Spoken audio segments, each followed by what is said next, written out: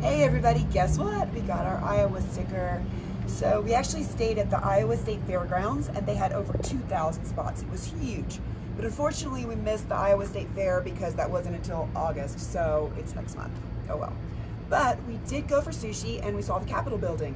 And inside the Capitol building, the coolest part of it was the law library. There were stacks of books and it was just like something out of Interstellar with Matthew McConaughey.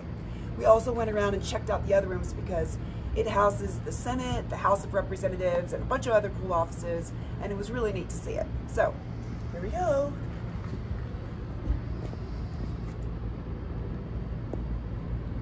Oh, got it.